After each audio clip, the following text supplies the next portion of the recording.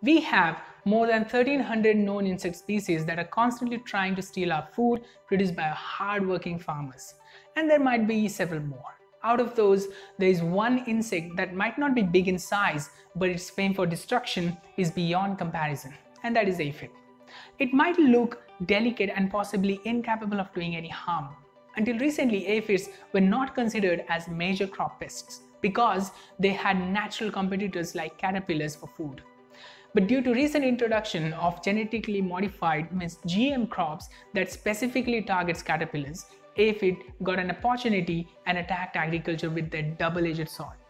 One by feeding on crops and second by transmitting plant viruses, causing huge loss estimating nearly 2 billion US dollars per year.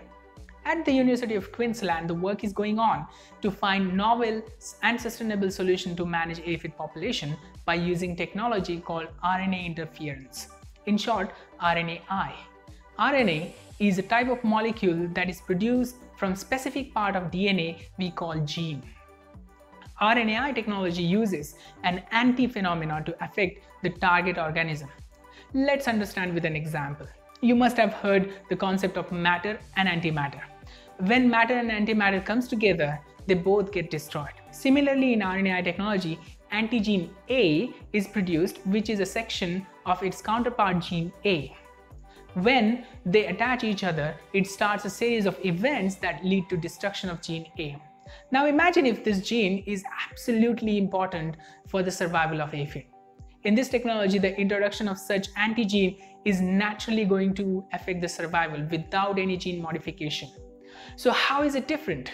In this case, instead of integrating a set of components within plant genome, a part of target anti-RNA is produced and sprayed on the plant to trigger RNA interference.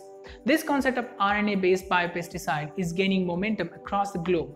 Also, just like antimatter of apple cannot destroy oranges, the antigene of aphid can be designed to have no impacts on other beneficial organisms. The specificity and flexibility of the approach are distinct advantages and there will be no residue left on the crop, no runoff of chemicals to our precious waterways. Hence, it addresses the issue of community acceptance.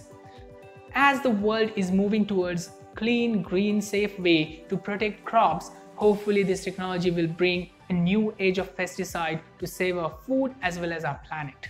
Thank you.